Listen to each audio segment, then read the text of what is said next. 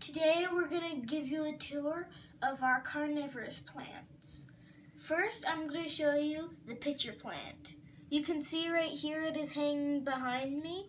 We have it hanging in the kitchen.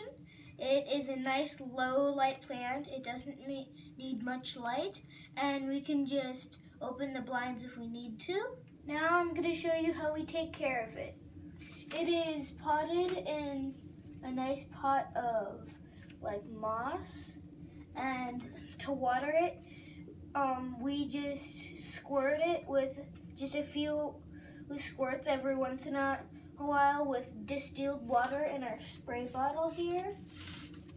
Come check it out. Okay. Check it out here. There's the moss. Okay.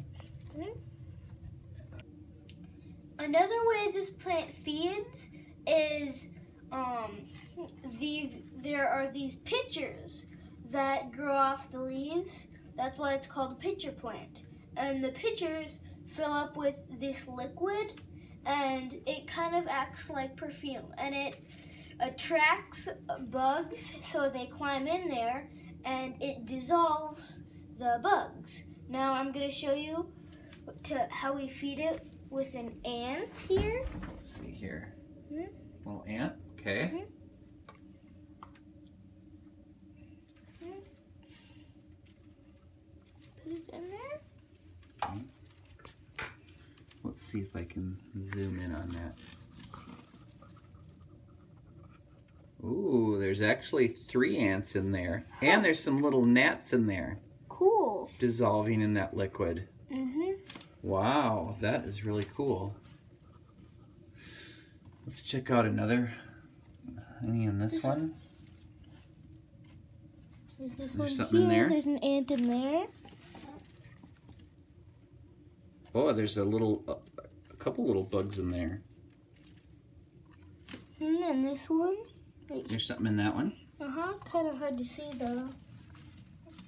Well, there's an ant in there too. And some little bugs. Yep. Wow. So these are like fully mature pitchers, and here's like a little, like a little baby one.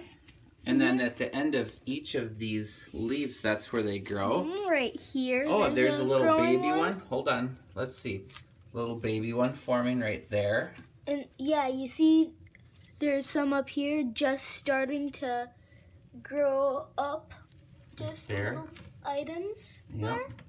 Off the tip of all of them. Mm -hmm. One here.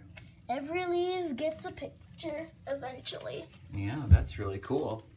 Mm -hmm. See a little bit of water and a little bit of bugs. Yep. Yep.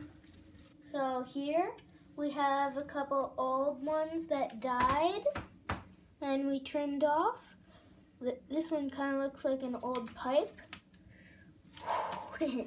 and then if they kind of start to get brown on the leaves, we trim it off right here so the energy would stay in the plant and not try to keep the leaf alive because it's already starting to die. Now we're going to cut up one of these old dead ones open to so you can see what's inside if you ever wonder what's inside of a pitcher plant.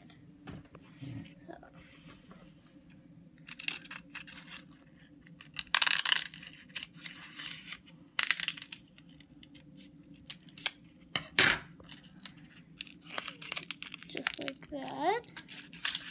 Looks kind of cool. Yeah.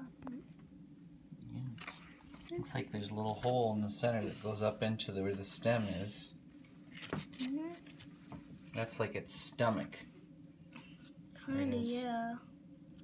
Right there. This little stomach and it goes into the stem and up to the plant. Mm -hmm.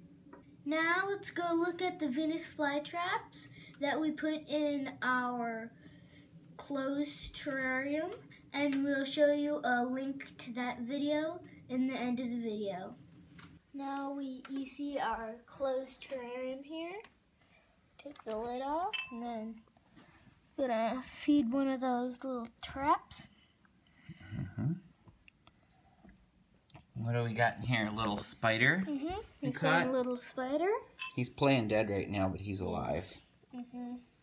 Okay, go ahead and feed him. Okay.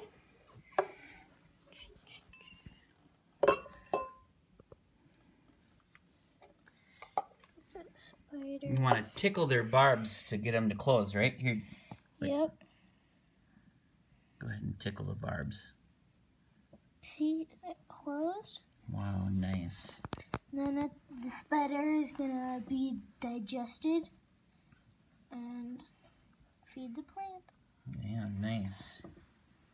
You there- see? There's an isopod right there in that one that's half eaten. Yep. Nice. This is a very healthy looking um, Venus flytrap terrarium. See another one closed over here. He's probably eating something. Mhm, Probably another isopod.